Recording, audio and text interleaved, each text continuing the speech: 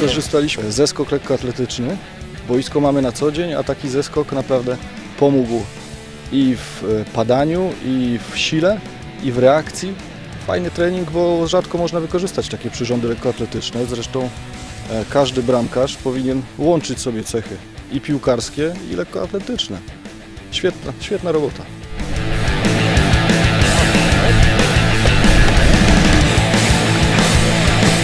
Wszystkie, wszystkie elementy są wykorzystane, plus, plus dobra zabawa. A dzisiaj akurat dzień wymagał tego.